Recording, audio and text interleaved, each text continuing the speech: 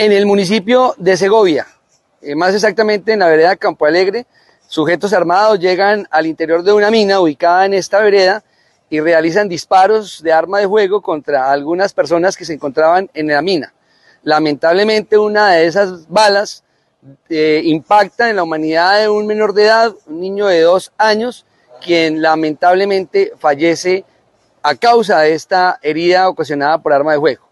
De inmediato se dispone un equipo de investigadores de nuestra Policía Judicial, de nuestra inteligencia, coordinado con la Fiscalía General de la Nación, quienes en el lugar de los hechos recolectan diferentes evidencias físicas y elementos materiales probatorios, los cuales están en este momento siendo analizados por parte de nuestros investigadores coordinados con la Fiscalía para capturar a los responsables de este lamentable hecho donde nuestros menores de edad, nuestras niñas, niños y adolescentes son las víctimas de estos delincuentes.